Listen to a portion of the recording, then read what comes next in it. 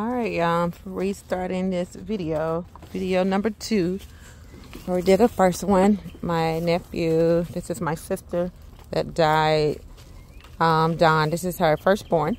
And he is putting up his auntie's chicken coop in Georgia. I'm so proud of him. I just ordered this on Amazon. And it's coming along gorgeous. Gonna have a real live chicken coop in my backyard. And he is doing a credible, credible, credible good job.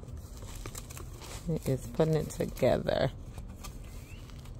We are doing our thing. Do I need to hold anything? Uh, it's just not level. Just because it's very. So, I just need to level it out.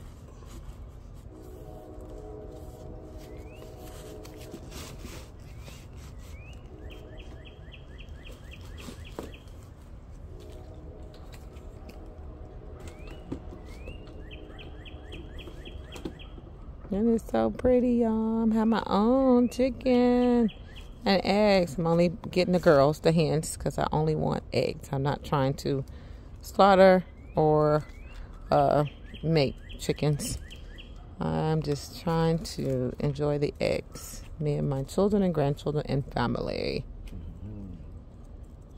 Love to cook, love to bake, and I think this would go great with our dinners.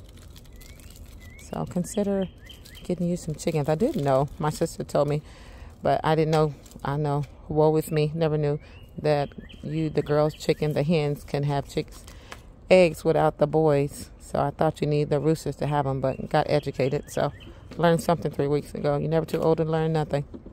You need my help to hold anything? All right, I might have to stop videoing you all to get, get this. Oh, so we won't lose lighting. But we will recap on video number three. Smooches.